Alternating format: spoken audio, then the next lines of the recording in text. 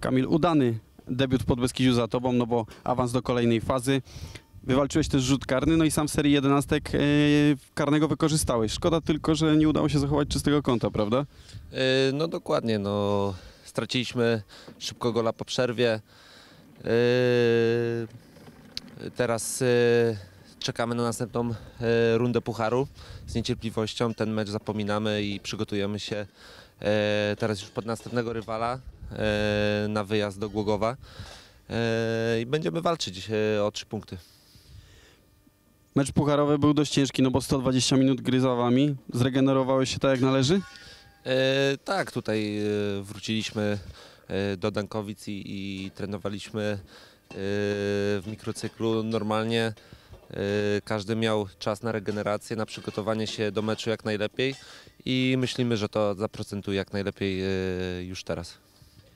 Dość szybko przebiłeś się do pierwszej jedenastki. Na dobrą sprawę najszybciej jak mogłeś, bo już w pierwszym meczu wystąpiłeś w pierwszym zestawieniu.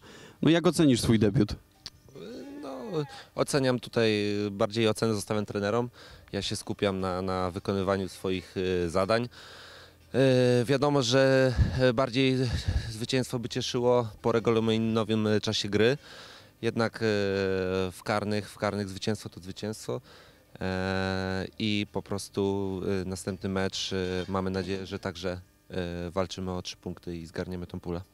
Bardzo skromnie się oceniasz, no bo dołożyłeś sporą cegiełkę do tego e, pucharowego zwycięstwa. Tak jak już wcześniej mówiłem, wywalczony rzut karny e, jeszcze w pierwszej części, no i w serii jedenastek nie popełniłeś błędu, także chyba jest z czego się cieszyć.